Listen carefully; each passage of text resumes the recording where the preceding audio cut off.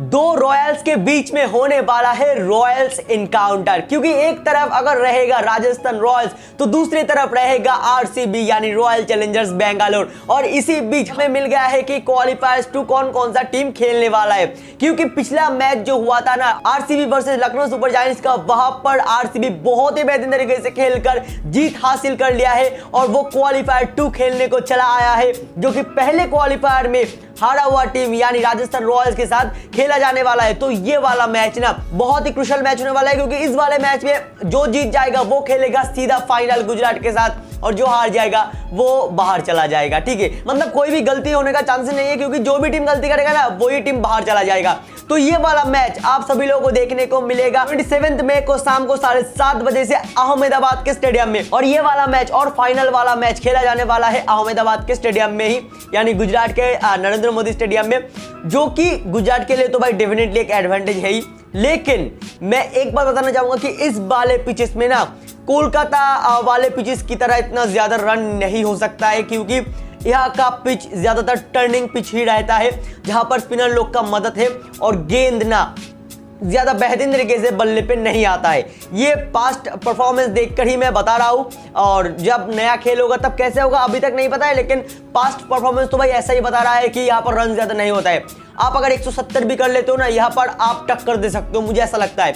आप सभी लोग इसके ऊपर क्या राय होगा वो कमेंट में बताओ। लेकिन अभी अगर हम बात करने को जाए कि ये जो सेकंड क्वालिफायर होने वाला है ना ये क्वालिफायर में दोनों टीमों का कैसा पोजीशन रहने वाला है? मतलब बहुत सारे टॉपिक के ऊपर डिस्कशन करेंगे। सबसे पहले हम बात करेंगे दोनों टीमों का प्रिडिक्टेबल प्लेइंग इलेवन इस मैच के लिए क्या बन सकता है। उससे भी पहले ना हम हेड टू स्टैटिस्टिक के बारे में बात करेंगे कि हेड टू स्टैटिस्टिक पिछले कई सालों से क्या रहा है इन दोनों टीमों के बीच में? उसके बाद हम दोनों टीमों का कंपैरिजन करेंगे और कॉम्पेरिजन करके बताएँगे कौन सा टीम इस मैच को जीत सकता है, कितना विनिंग परसेंटेज से जीत सकता है। और उसके साथ हम बेस्ट राइवलरी के ऊपर भी गौर देंगे कि बेस्ट राइवलरी इस मैच में हमको क्या क्या देखने को मिलेगा। और उसके साथ ना हम की प्लेयर्स कौन कौन सा खिलाड़ी बन सकता है, उसके साथ स्टेटिस्टिकली एनालिसिस करेंगे।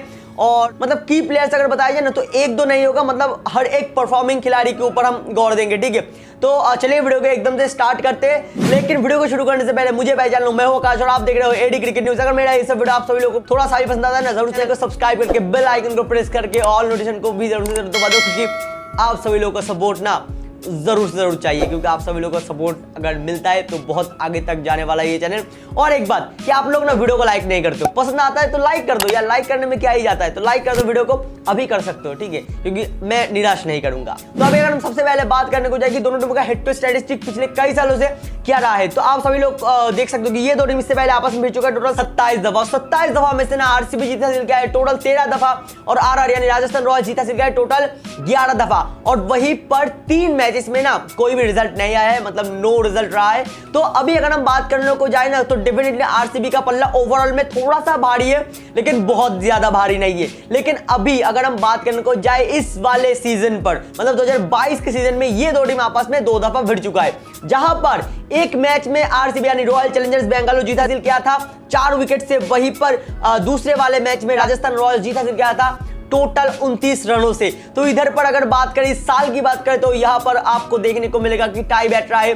लेकिन अभी अगर हम बात करने को जाएगी, दोनों टीमों का प्रिडिक्टेबल प्लेइंग इलेवन क्या बन सकता इस मैच के लिए? तो सबसे पहले अगर हम राजस्थान रॉयल्स के ऊपर गौर देना तो आप सभी लोगों को देखने को मिलेगा कि राजस्थान रॉयल्स भी ना, मुझे ऐसा लगता है कि अपना पिछला वाला प्लेइंग इलेवन लेकर ही जाएगा, क्योंकि वो वाला प्लेइंग इलेवन ना बेहतर खेला है, ठीक है? मतलब पूरा सीज़न बेहतर खेला है। एक मैच में अगर थोड़ा सा भी फ्लॉप जाता है तो उसमें कोई भी ज़्यादा परेशानी की बात नहीं होगा। तो आप देखो कैसा प्लेइंग में रहेगा।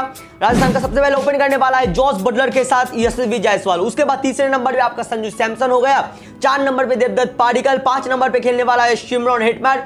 छह नंबर पे रियान प्राग, सात नंबर पे रवि अश्विन। देखो, रवि अश्विन को वो आगे भी उतार सकता है। सिचुएशन को देखते हुए रवि अश्विन को खिलाया जाएगा, ठीक है? उसके बाद आठ नंबर पे ट्रेंड बोल्ट नौ नंबर पर सिद्धू कृष्णा, दस नंबर पे यूजी चहल और लास्ट ग्यारह नंबर पे।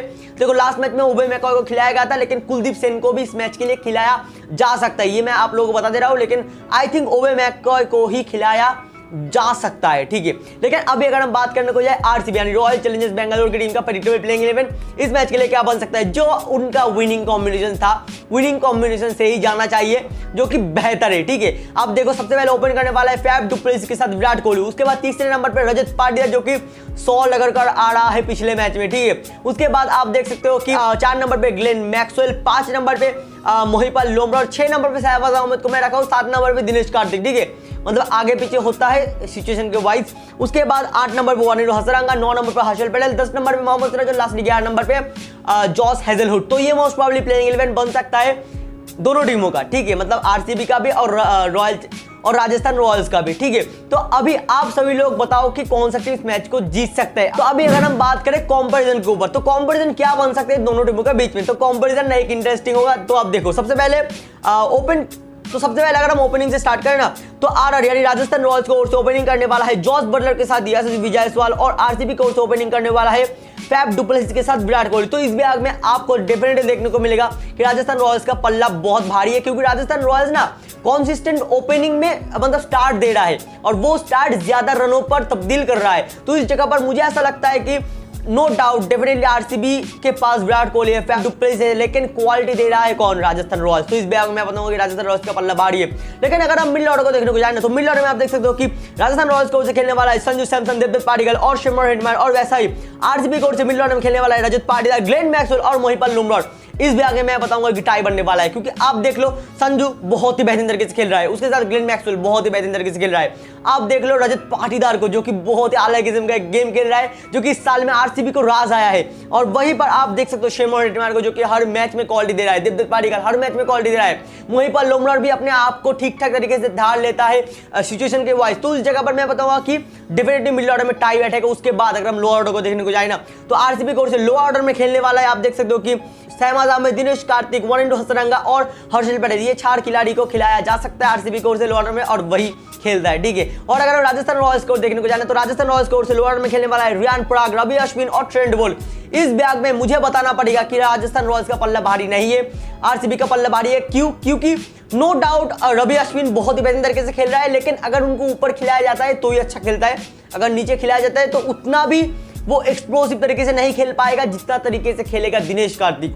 सहवाज अहमद के पास भी क्वालिटी है। ठीक है तो इस आगे मैं बताऊँ कि दिनेश कार्तिक के चलते ना मैं आरसीबी को रखूँगा भाई रैंक करवाऊँगा ऊपर, ठीक है? तो लोअर ऑर्डर में आरसीबी का पल्ला भारी रहेगा। तो अभी अगर हम स्पिन बॉलिंग को देखने को जाना तो स्पिन बॉलिंग में आप देख सकते हो कि राजस्थान रॉयल्स को स्पिन बॉलिंग करने वाला यूजी चाहे उसके साथ आपका रवि अश्विन और वैसा ही और वैसा ही आरसीबी यानी और वैसा ही आरसीबी, यानी रॉयल चैलेंजर्स बेंगलोर की ओर से स्पिन बॉलिंग करने वाला है वन इंटू हसरंगा उसके साथ सहबाज अहमद भी स्पिन बॉलिंग करेगा। उसके साथ ग्लेन मैक्सवेल भी करेगा। मोहिबल लुमरर भी करेगा। तो स्पिनिंग ऑप्शन ज़्यादा मतलब क्वांटिटी में है आरसीबी रॉयल चैलेंजर्स बेंगलोर के पास। लेकिन मैं बताऊँगा कि इस ब्याग में ना टाई बैठने वाला है, क्योंकि क्वालिटी दोनों टीमों के पास समान है। एक तरफ़ अगर पर्पल कैप होल्डर है तो उससे एक विकेट कम लेकर बैठा हुआ है हसरंगा तो अभी बताओ मतलब क्वालिटी दोनों टीमों के पास ही है, ठीक है? और अगर हम बात करें तो इस जगह पर तो इस विभाग में डेफिनेटली टाई बनेगा। लेकिन अभी अगर हम बात करने को जाए पेस बॉलिंग अटैक को, ठीक है? तो पेस बॉलिंग में दोनों टीमों को ओर से पेस बॉलिंग आप देख सकते हो कि तीन तीन खिलाड़ी ही है जो कि पेस बॉलिंग करेगा।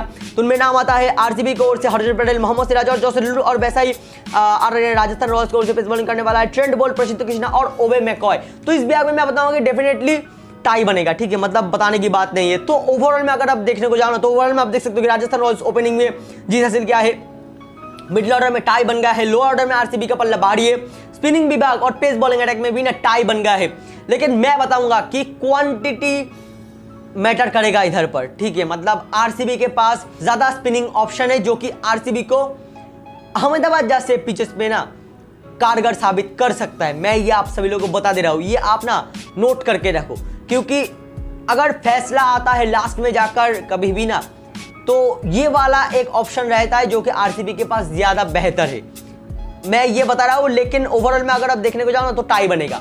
लेकिन लास्ट में बताऊँगा कौन सा टीम जीत सकता है, कितना विनिंग परसेंटेज से जीत सकता है, ठीक है? तो अभी अगर हम बात करने को जाए कि बेस्ट राइवलरी हमको क्या क्या देखने को मिलेगा इस मैच के लिए, ठीक है? तो आप देख सकते हो कि जब विराट कोहली बल्लेबाजी करने को आएगा, उनके सामने जब प्रसिद्ध कृष्णा उनका हॉट पिच गेंदबाजी लेकर आएगा जो कि विराट कोहली को थोड़ा सा तंग करता है तो वो कैसे तरीके से खेलता है उनको ये देखने वाला चीज़ों का और ये बेस्ट राइवलरी हमको देखने को मिलेगा। उसके बाद जब जॉस बटलर बल्लेबाजी करने को आएगा ना तब तो ओपोनेंट से जब जॉस हेजलवुड गेंदबाजी करने को आएगा तो दो जॉसों के बीच में जब मैच होगा मतलब जो भिड़ंत होगा, वो भाई देखने को मज़ा आएगा। उसके बाद जब संजू सैमसन बल्लेबाजी करने को आएगा, उनके सामने जब वन इंटू हसरंग अपना स्पिन लेकर आएगा, हालाँकि संजू सैमसन स्पिन बेहतर खेलता है, लेकिन वन इंटू हसरंगा ना एक अलग वाला मिस्ट्री क्रिएट करता है अपने स्पिन में। तो उस जगह पर ये दोनों का राइवलरी हमको देखने को मज़ा आएगा। और उसके बाद जब बल्लेबाजी करने को आएगा रजत पाटीदार, जो कि बहुत ही आला किस्म का एक गेम खेल रहा है आरसीबी के ओर से। तो उस जगह पर जब सामने से गेंदबाजी करने को आएगा ट्रेंड बॉल जिनके पास स्विंग होगा, ठीक है तो उनको कैसे तरीके से खेलता है, ये भी एक देखने वाला चीज़ होगा। और लास्टली जब दिनेश कार्तिक बल्लेबाजी करने को आएगा और उनके सामने जब यूजी चहल जब पर्पल कैप होल्डर गेंदबाजी करने को आएगा, तब कैसे तरीके से यूज़ को फेस किया जाता है। दिनेश कार्तिक के द्वारा ये भी एक देखने वाला चीज़ होगा। तो क्वालिटी के सामने क्वालिटी आएगा और इन पाँचों राइवलरी में से आपको कौन सा राइवलरी सबसे ज़्यादा देखने को मज़ा आएगा ना, वो आप लोग ज़रूर से कमेंट करो बताओ। और मुझे अगर मैं पर्सनली बताऊँ ना तो मुझे ऐसा लगता है कि जो विराट कोहली के सामने प्रसिद्ध कृष्णा आएगा और जॉस बटलर के सामने जब जॉस हेजलवुड आएगा ना, ये वाला राइवलरी ये दो राइवलरी हमको देखने को मज़ा आएगा। मुझे बेसिकली देखने को मज़ा आएगा। आपका राय आप कमेंट पर बताओ, क्योंकि आप लोगों का राय अलग अलग बन सकता है, ठीक है? तो कमेंट पर बताओ। तो अभी अगर हम बात करने को जाए कि की प्लेयर्स विथ स्टैट्स क्या बन सकता है, ठीक है? तो आप सीधे तौर पर ना, एकदम स्टैट्स देखो। तो आपके साथ स्क्रीन को आ रहा है तो आरसीबी की ओर से की प्लेयर जो कि बन सकता है।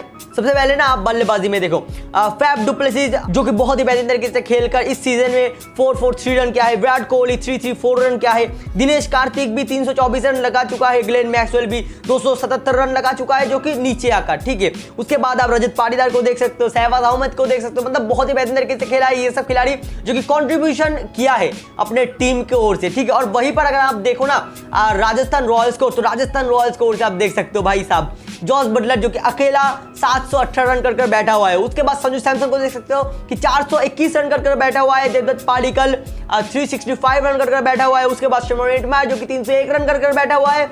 उसके बाद यशस्वी जायसवाल, कम मैच खेला है, आठ मैच खेला है, लेकिन रन देखो भाई 215 उसके बाद आप देख सकते हो कि रविचंद्रन अश्विन, जो कि इस साल में ना थोड़ा सा अलग वाला लेवल का गेम खेला है। तो वो भी भाई एक सौ पचासी रन कर कर बैठा हुआ है। तो इस विभाग को अगर आप देखो ना तो इधर पर आपको सीधे तौर पर देखने को मिलेगा कि दोनों टीमों के पास ही ना क्वालिटी की प्लेयर्स है जो कि रन बनाएगा इस टीम के लिए, ठीक है? और अगर आप बैटिंग में ओवरऑल में देखने को जाओ ना तो इधर पर आप देख सकते हो कि ज़्यादा रन क्या है राजस्थान रॉयल्स के बैटर लोग, जो कि राजस्थान रॉयल्स के लिए एक बेहतरीन चीज़ है, जो कि राजस्थान रॉयल्स को फ़ायदा देगा, क्योंकि राजस्थान रॉयल्स का बैटर लोग टोटल दो हज़ार दो सौ पाँच रन किया है और वहीं पर आरसीबी का बैटर लोग ना टोटल मिलाकर 1860 रन किया है। तो इस विभाग को देखते हुए ना बैटिंग में डेफिनेटली आरसीबी से राजस्थान रॉयल्स का डेप्थ ज़्यादा बेहतर है ज़्यादा रन किया है, ठीक है? तो ये था आपका बल्लेबाजी में की प्लेयर जो कि इस टीम के ओर से खेलेगा। आपके सामने स्टैट से आप देखो और एनालिसिस करो आप खुद, ठीक है? लेकिन अभी अगर हम बात करने को जाए गेंदबाजी की ओर ठीक है? तो गेंदबाजी में भी आप स्टैट्स देख सकते हो की प्लेयर्स को देख सकते हो जहाँ पर मैं चार खिलाड़ी का नाम लिया हूँ टॉप का।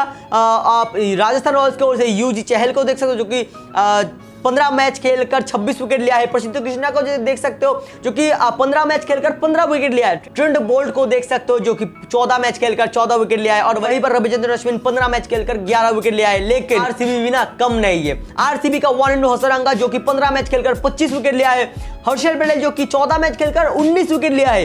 जॉस हेजलुड जो कि सिर्फ़ सिर्फ़ ग्यारह मैच खेलकर अठारह विकेट चटका चुका है। और वहीं पर मोहम्मद सिराज, जो कि चौदह मैच खेलकर नौ विकेट चटका चुका है। तो इस विभाग को देखते हुए, इस बॉलिंग अटैक को देखते हुए, इन बॉलिंग में की प्लेयर्स को देखते हुए आपको देखने को मिलेगा कि आरसीबी टोटल इकहत्तर विकेट लिया है। टॉप फोर के गेंदबाजी क्रम में और राजस्थान रॉयल्स टॉप फोर गेंदबाज की तहत सिक्सटी सेवन विकेट निकाला है। तो इधर पर देखने को मिलेगा कि गेंदबाजी क्रम में ना आरसीबी यानी रॉयल चैलेंजर्स बेंगलोर भी ज़्यादा बेहतर किया है। तो आप अगर ओवरऑल में देखने को जाओ ना तो बल्लेबाजी में ज़्यादा क्वालिटी दिया है राजस्थान रॉयल्स और वहीं पर आरसीबी यानी रॉयल चैलेंजर्स बेंगलोर ने ज़्यादा क्वालिटी दिया है गेंदबाजी में। लेकिन अभी आप सभी लोगों को मैं अगर बताने बोलूँ कि अब बताओ कि कौन सा टीम जीत सकते हैं। तो अभी कमेंट करो बताओ कौन सा टीम इस मैच को जीत सकता है ठीक है? लेकिन मैं अगर इंडिविजुअली बताऊँ ना और अगर मैं कंडीशन को देखूँ ना तो थोड़ा सा पल्ला टाई बैठने वाला है क्योंकि मुझे ऐसा लगता है कि आई एम टोटली कॉन्फ्यूज ठीक है? क्योंकि मुझे ऐसा लगता है कि दोनों टीम ही ना इधर पर बहुत बेहतर तरीके से खेल कर आया है। मैं क्यों बता रहा हूँ? टाई होने वाला है क्योंकि देखो आरसीबी के पास सब कुछ का डेप्थ ज़्यादा बेहतर है। गेंदबाजी में ऑप्शन बहुत सारा है। बल्लेबाजी में भी आप सात नंबर पे अगर दिनेश कार्तिक को उतारते हो या फिर सहवाज अहमद को उतारते हो तो वो बिना क्वालिटी दे सकता है। लेकिन वो वाला डिप्थ आ रहा है राजस्थान रॉयल्स के पास नहीं है। लेकिन राजस्थान रॉयल्स का ना हर एक खिलाड़ी अपने आप को बहुत ही ऊपर ले जाकर परफॉर्मेंस दे रहा है। तो ये भी एक देखने वाला चीज़ होगा, लेकिन मुझे ऐसा लगता है कि मोमेंटम आरसीबी के पास है। ठीक है मतलब पिछला मैच आरसीबी जीत कर आ रहा है और वहीं पर राजस्थान रॉयल्स पिछला मैच हार कर आ रहा है। लेकिन आप ना राजस्थान रॉयल्स को अंडर एस्टिमेट भी नहीं कर सकते हो, क्योंकि राजस्थान रॉयल्स बहुत ही बेहतरीन तरीके से आरसीबी से ज़्यादा पॉइंट लेकर बैठा हुआ था पॉइंट्स टेबल पर भी। तो मुझे ऐसा लगता है कि राजस्थान रॉयल्स के पास भी क्वालिटी है, जो कि आरसीबी भी बीट नहीं कर सकता है और आरसीबी के पास भी जो क्वालिटी है ना, वो भी राजस्थान रॉयल्स भी बीट नहीं कर सकता है। तो ये वाला मैच ना मज़ा आएगा भाई, देखने को मज़ा आएगा। और बेस्ट वर्सेज बेस्ट भाई होने वाला है, क्योंकि राजस्थान रॉयल्स भी आपको थोड़ा सा भी ज़मीन नहीं छोड़ेगा आरसीबी भी थोड़ा सा भी ज़मीन नहीं छोड़ेगा। मतलब फाइट होगा अगर कम रन में होता है ना तो कम रन में भी फाइट होगा। मैं आप लोगों को ना डिफरेंटली बता दे रहा हूँ, और दोनों टीमों का ही ना गेंदबाजी बेहतर है, इसमें कोई भी दौरा नहीं है। लेकिन बहुत डिपेंड करेगा जॉस बटलर के ऊपर। जॉस बटलर अगर ऊपर से स्टार्ट देता है बेहतर तो राजस्थान रॉयल्स मैच को जीत जाएगा। मैं आप लोगों को इधर बता दे रहा हूँ, ठीक है? राजस्थान रॉयल्स मैच जीतेगा कब? जब जॉस बटलर ऊपर से बेहतर स्टार्ट देगा, ठीक है? मतलब पिछला मैच वो बहुत ही बेहतरीन तरीके से खेला था, लेकिन गेंदबाजी में ना वो वाला धार नहीं देखने को मिला था। तो गेंदबाजी में भी थोड़ा सा बेहतर करना पड़ेगा राजस्थान रॉयल्स को। तो ओवरऑल में बेहतर मैच होने वाला है, लेकिन दो मैच मैं देखा ना, वहाँ पर मुझे ऐसा लगता है कि थोड़ा सा एक्स्ट्रा एफर्ट लगा रहा है आरसीबी और राजस्थान रॉयल्स आई थिंक करेगा इस वाले मैच में ना। आई थिंक फाइट बैक करेगा राजस्थान रॉयल्स, और दोनों को ही पता है कि मैच जीतो भाई तो भाई आप क्वालिफाई करोगे। अगर मैच नहीं जीतते हो तो अगले साल आना। तो दोनों को ही पता है तो दोनों को मुझसे तो भाई बहुत ज़्यादा गुण पता है। तो उस जगह पर आप लोगों का क्या राय होगा, वो ज़ोर से कमेंट करो, बताओ। और मुझे जो लगता है, मैं वो बता दिया। और टोटल एनालिसिस कैसा लगा ज़ोर से कमेंट करो, बताओ। तो अभी नहीं बाय टेक केयर बने रहो, ठीक है? चैनल के साथ बने रहो। आगे भी बहुत ही बढ़िया बढ़िया वीडियो आएगा, उसके लिए स्टेट्यून बाय टेक केयर और एक बात, भाई मैच को एंजॉय करना, ठीक है? मैच को एंजॉय करना मत भूलना, क्योंकि आपका टीम हारे या फिर जीते इंडिया का ही सभी खिलाड़ी है। मैच को एंजॉय करो, बस, और कुछ नहीं चाहिए। Bye take care